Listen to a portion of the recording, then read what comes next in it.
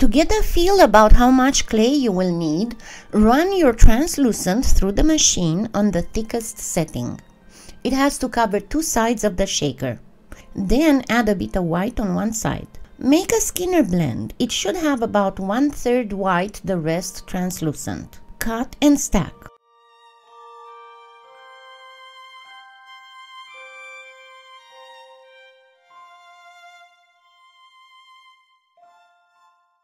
Then cut and stack again to obtain an ikat effect. Repeat until you have a thick sheet.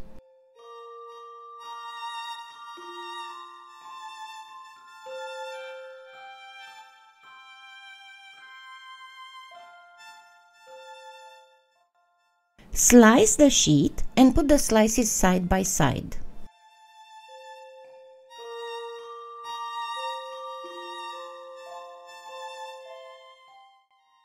Next, you need to flatten to about a medium thickness, making sure that it is close to covering the shaker.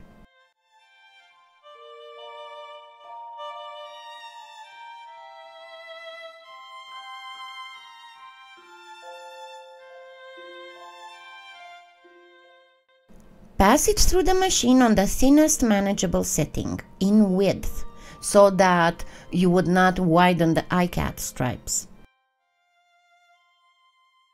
At this point you can start covering your shaker. The white needs to go to the mouth of the shaker. Arrange it so that the blend of white and translucent doesn't go below the half of the shaker.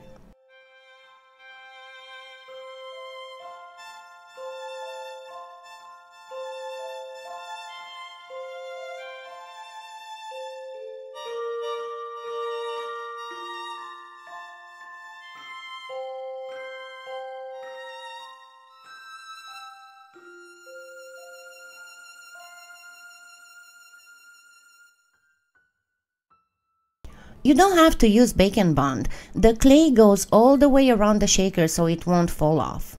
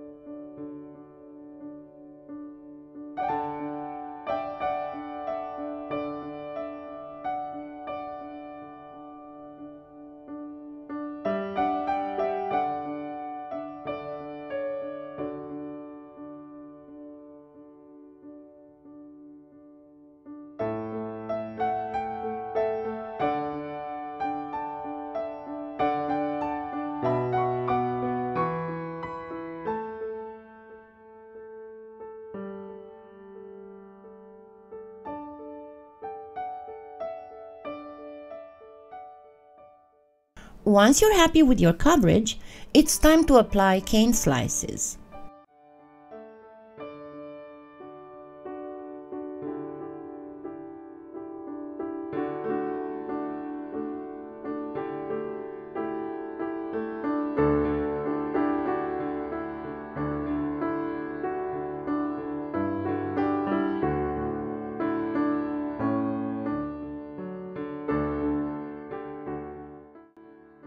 All the slices have to be very thin.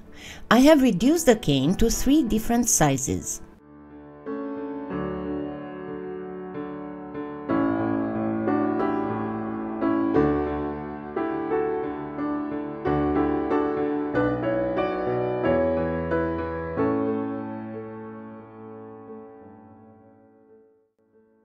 Make sure that you flatten them out on the background clay.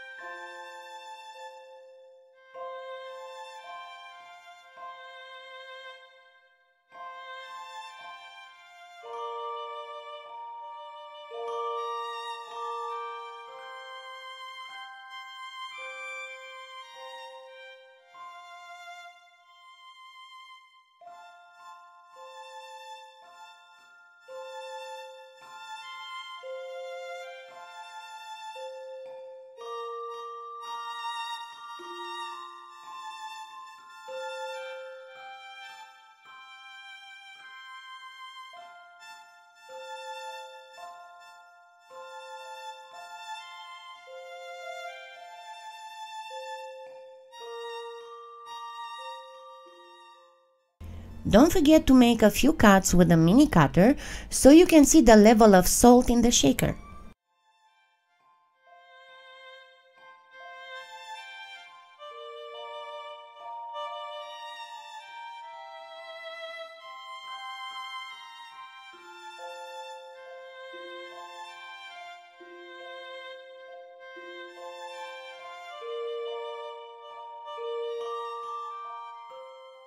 And you'll have a frosty salt or pepper shaker for your Christmas dinner table. Merry Christmas!